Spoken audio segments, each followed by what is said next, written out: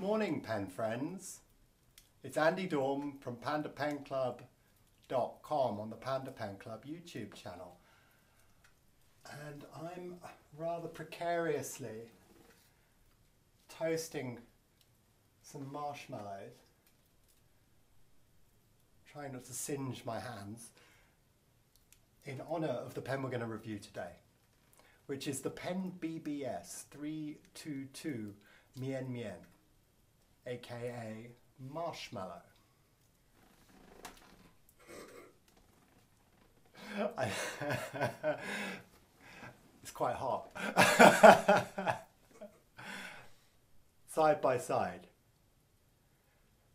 Using a, a, wilted stick of celery as a way of extending your marshmallow toasting stick is not something I'd recommend unless you're nuts. but anyway, back to the well. Mmm. That's delicious. But is a pen delicious? Let's talk about this pen.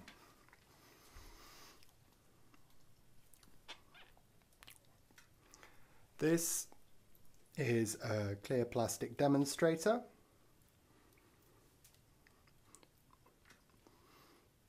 It's fairly slimline, as you can see.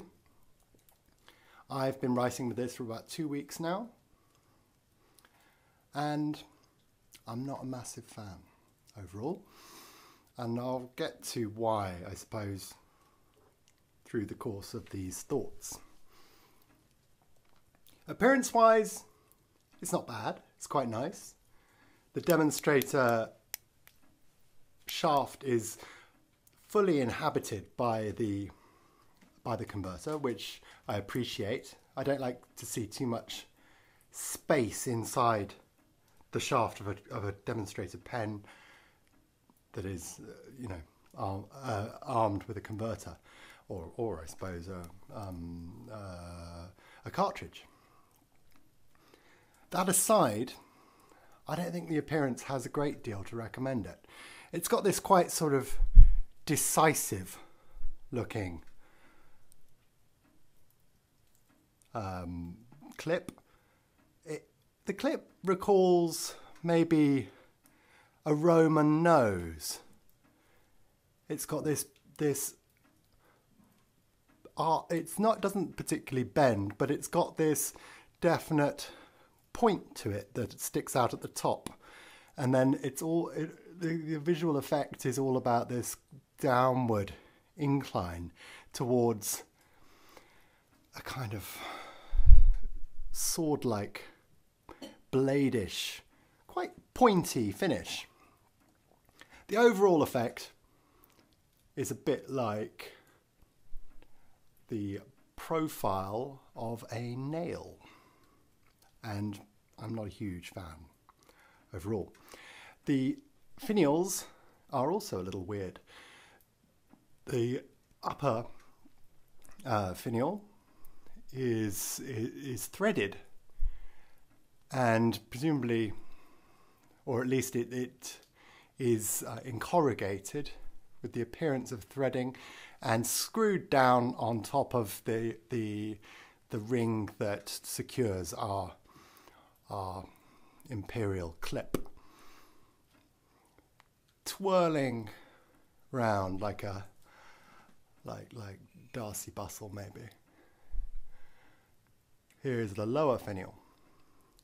This is also a little strange. It's it's it's got this sort of notched appearance. I haven't counted how many little facets there are to the to the to the finial, but there are at least ten, I would say and they are like little little bishop's hats in shape and you can see them catching the light as I twirl the pen round and they're set rather jarringly against the almost unassociated clear plastic of the body or shaft of the pen. The cap is really thoroughly threaded. As you can see, there's quite a quite a mess of threads there. And there is no finality to the tightening. And it's very susceptible to cracking as a result, this assembly. And I have noticed a couple of cracks in the model I have here um, when looked at under a, under a loupe, which is a desperate shame. Very disappointing, in fact. Particularly when there is something rather attractive about what we have here. It's a number five nib, but because the pen's so tiny and dear and slimline, it looks a little larger than it is. It had some affinities to the Nemosine singularity, and I almost wanted to compare them side by side, but the, the, the nib is in fact so tiny, it's a really superficial likeness. Nonetheless, the nib, the nib does look promising on this pen, aside from the, the slightly sort of uh, waterlogged or ink-logged feed and section we have here. It's not especially attractive the way that kind of floods in a in an with with ink. Excuse me. Having said that, the writing experience with this pen is is perfectly fine.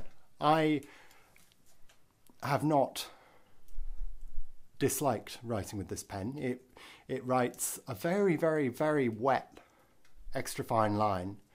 It's a it's I would say it's on the on the the thicker side of extra fine. And because of all the wetness, it does have a certain rounded quality to the to the lines and and it encourages neat, attractive lettering, which is nice. And and and served very well by this absolutely adorable heart-shaped breather hole, which crops up now and again because it's such a lovely way of ornamenting a pen. Uh, for example, I, uh, my Platinum 3776 has one of these, and yeah, it's a nice touch, looks lovely it makes the pen very sweet. And, you know, a demonstrator, it's got the words marshmallow written on it, Mian Mian, Put some ink, some pink ink inside, and enjoy the, the, the flow of the pen. But I wouldn't necessarily recommend this to anybody simply because the, I don't quite trust the build quality of it. It fits together okay. I have had some problems with the section, unscrewing the screw cap and managing to dislodge the section at the same time. And I've got the section really securely tightened on here now, but I have on many occasions accidentally unscrewed the section with the cap, which is well, it's not hugely reassuring and, and definitely not a pen to use in a hurry. The screw cap on a pen like this is quite curious, in fact. It seems to be the source of a lot of risks. And it seems to be what's creating a lot of this pen's problems for me. I have enjoyed using it on the basis that I have, but I probably wouldn't choose to use it on a permanent basis for any particular reason. I'll stick it in a drawer somewhere, and and we'll see if the ink's still flowing in a couple of months when I need it. But it's not a pen that I'm going to fall in love with. Pen BBS 322, Mian Mian Marshmallow. Doing the writing sample for the pen BBS 322. I find myself not by the fire in Dorset, but in an apartment in Nanjing in China for this part to complete my work on this video. Isn't life strange? So, what do we think? Well, as I noted in the review, I just took the lid off this pen and got a little, managed to unscrew the section at the same time, which I find irritating. Now, as a writer, pen BBS 322 marshmallow. Marshmallow, isn't it? Not marshmallow like like chilled out. Marshmallow like the sweetie, Mian Mian. One of my favourite things as a kid, I was always very into food orientated rituals as a child, and one of my favourite rituals was to go to the library and get a stack of Tintin books and then and a bag of marshmallows. This was sort of weekly thing.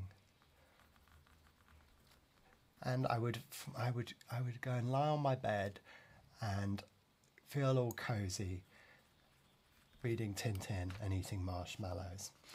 Does this pen remind me of such idly glorious times? Well, not really. I what to say about this pen as a writer. It's a precise little writer, but I'm as you probably gathered from my review, I'm not hugely in love with it. I'm not I sort of have a reasonable degree of respect Oh, you, you get a railroad. The feed doesn't keep up, sadly, if you try and... Oh, and now we've lost the ink flow completely from that little attempt, which is... I've managed to screw up the... I've managed to... Oh, dear. There we are. I managed to partition the little nib, the little tines there. There we are. I've got it working again. So I'm afraid the final part of this writing review will be on a a quick or a damaged and quickly repaired version of this pen, which may feel a little unfair. But my lord, that that that was not a lot of pressure I was putting on this here. I'm pretty cautious when it comes to to checking for line variation. And it just again goes to the sort of the the well, the way this pen feels flung together to me, sadly. Lovely panda. Seeks.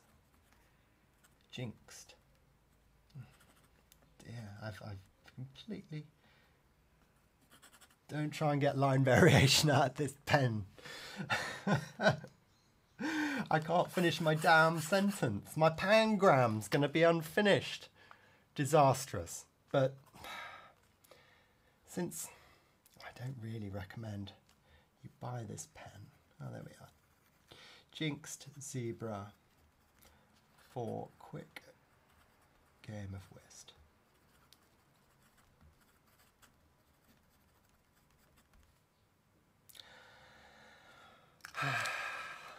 there are better Chinese fountain pens for you to spend your hard-earned cash on, in my opinion.